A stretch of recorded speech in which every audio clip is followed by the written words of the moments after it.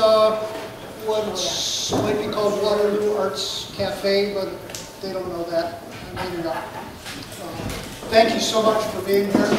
Uh, I know Palo Tango was calling your name, and you chose to be here instead, which is a good choice. Uh, We have three, three uh, folks playing, and first up will be I Dream in, We Dream in Colors. Did I get that right? No, We Dream in Music. We Dream in Music. Right? Yeah.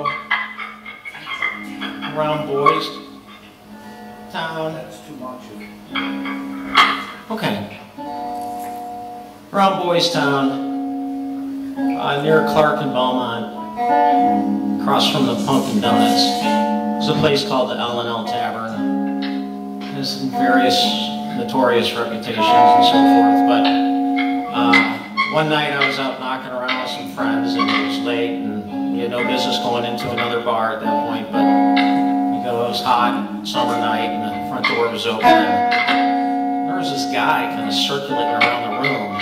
And he would talk to people, and you know, they would sort of get away from him.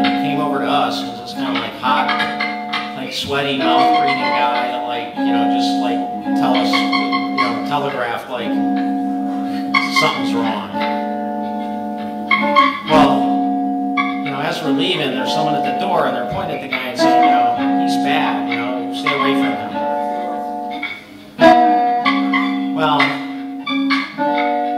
it might have been months or a year later.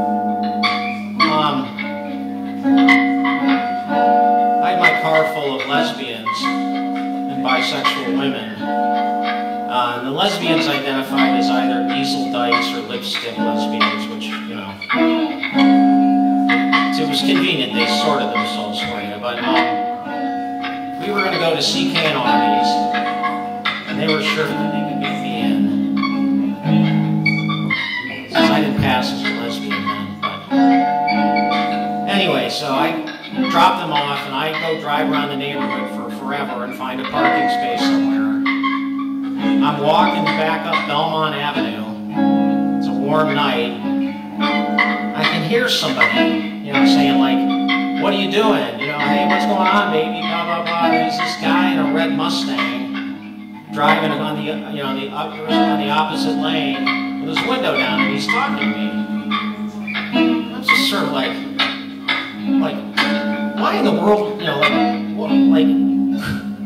So I, I, I get in the bar, and right behind me is a group of people, a group of queers from the neighborhood, and they're saying, stay away from that guy. He's bad. People have disappeared.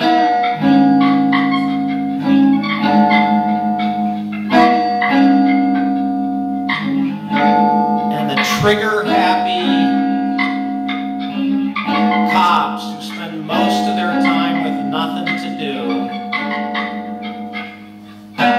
queers went and told the cops about this guy, you know what they did.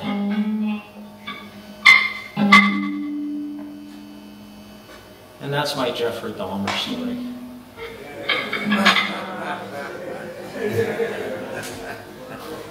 thought it was gonna be Steve Mastriani story. Not, not that story, but I only said that because I heard his name coming from the ether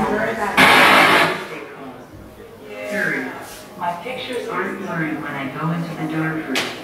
Other planners start to photographs on. Camera left. Cyanotypes are glamorous. The analog processes make all the ladies amorous. Steve Mastriani.